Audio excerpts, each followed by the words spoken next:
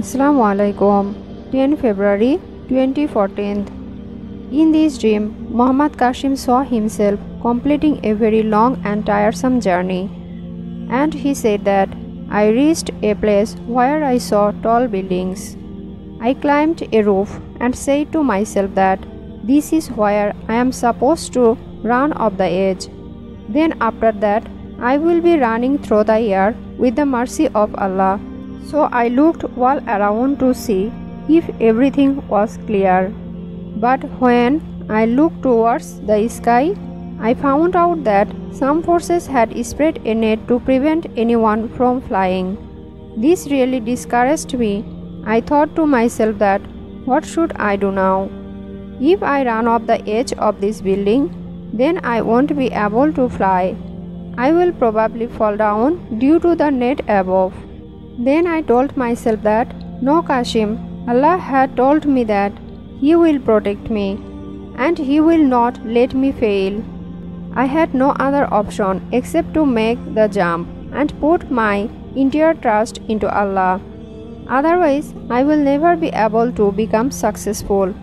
Then I placed all of my trust in Allah and I started to run towards the edge and then I ran off.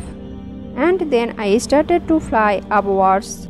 And then Allah tore apart the net by His mercy. I managed to escape from there very easily. And then I saw people down below who looked very busy in their jobs. However, a few people saw me and said, Look, Qasim is flying in the air. And some people said that wherever he is headed towards. That is the place which contains the mercy and blessing of Allah.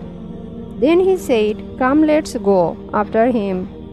And then those people left their sweet homes and jobs and started running in the same direction I was going.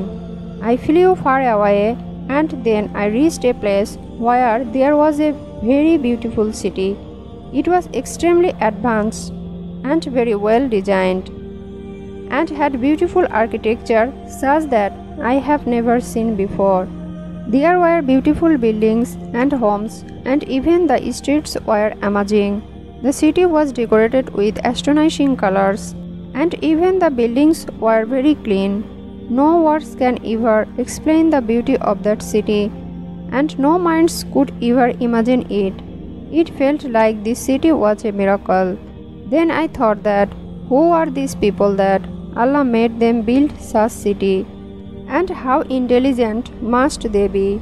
And just with that Allah said from the sky that Qasim this city will be built by you and those who are with you by my mercy and my help and the dream ended with that Jazakallah khairan